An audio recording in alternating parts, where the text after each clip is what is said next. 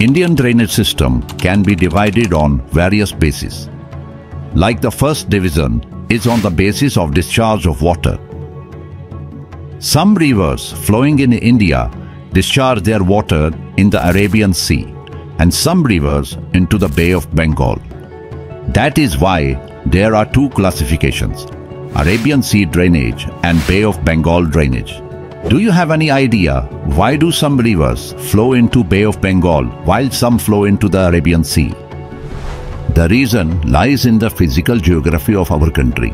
Features like Kailash range of Himalayas in the north, followed by Aravalli range, the Vindhya range, Amarkantak hills, the Satpura range and the Western Ghats act as natural water divide line. As you know, the slope of our plateau is tilted towards east. That is why 77% of India's rivers flow towards east and drains into Bay of Bengal.